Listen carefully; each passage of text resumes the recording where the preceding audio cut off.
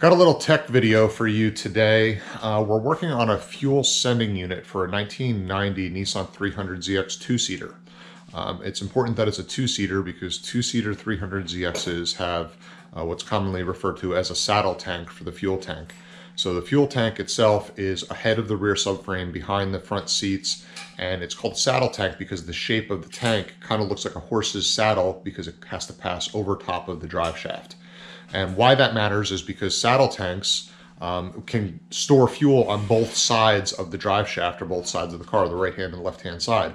But commonly from the factory, the fuel pump itself is only installed in one side of the saddle. And then the question becomes, how do you draw fuel from the other side of the saddle uh, without just going around right-hand turns or left-hand turns really fast to make the fuel slosh over the hump in the middle?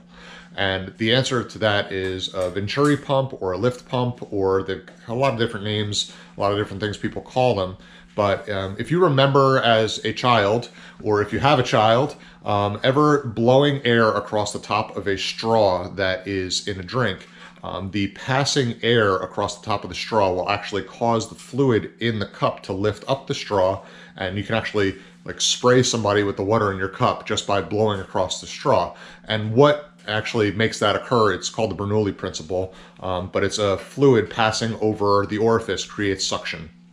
And that's actually, interestingly enough, how airplanes determine how fast they're going. If you ever look at the nose of an airplane, you'll see a tube sticking out sideways, perpendicular to um, the direction of travel and one pointing forward in the direction of travel. And there's pressure transducers in the aircraft and they measure the pressure difference between those two tubes. And it determines how fast the airplane's going since it doesn't have a wheel on the ground to say, hey, this is how fast I'm traveling. So interesting tech tip for you. But in any event, that's how most automotive manufacturers actually draw fuel from one side of the tank to the other.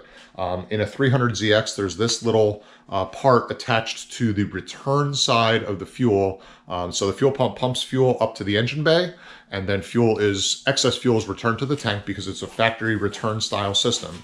Uh, the return fuel will actually uh, come down through this tube, and if you look, this tube meets it at 90 degrees. The top side of this clips onto a tube inside the tank that passes over to the other side of the saddle. So as return fuel is coming from the engine, it creates that same Bernoulli principle or Venturi effect and sucks fuel from this side into the tank and deposits it in the driver's side saddle. Um, that's how you keep fuel in the driver's side and that's how um, you prevent starvation of fuel to the engine by draining down one side of the saddle tank.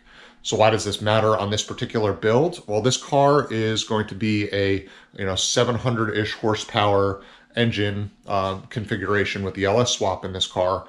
And because of that, um, you're kind of getting on the edge of what you would want the factory fuel lines uh, to supply because the factory fuel lines in a 300ZX are only what's equivalent to a dash 5 or 5 16ths of an inch diameter. Um, you're kind of getting beyond the limit of what they can do.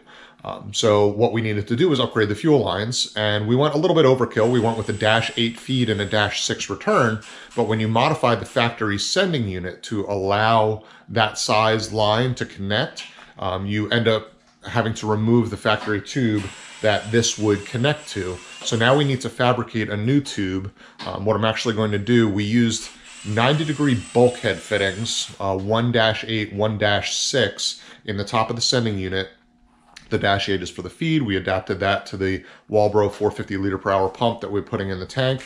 And then we have a Dash 6 90 degree on the return side for um, the return for the return fuel. So what I need to do now is actually on the lathe turn down a tube that will connect to the bottom of that dash six return and then next down slightly to the correct size that will clip into this factory Venturi pump so that we can still pull fuel from the other side of the saddle. So a little tech video today. Um, I'll overlay some video of that. Basically, I'm going to be using just some aluminum tubing and I will drill the ID to be the same size as the ID of the tube that we cut off the inside of the sending unit.